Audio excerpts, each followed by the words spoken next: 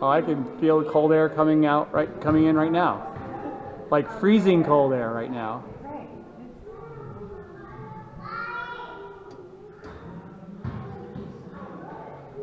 All right. I'm just gonna, I got video and I can feel cold air rushing in right now.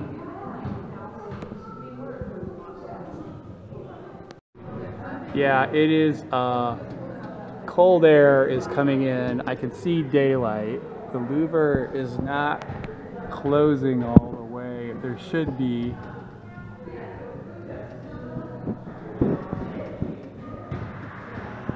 All right.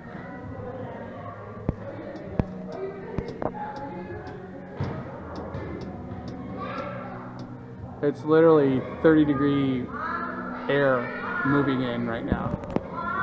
I feel 30 degree air rolling on me right now. And that is flapping. So either that piece is supposed to be tied down and is not, is my guess.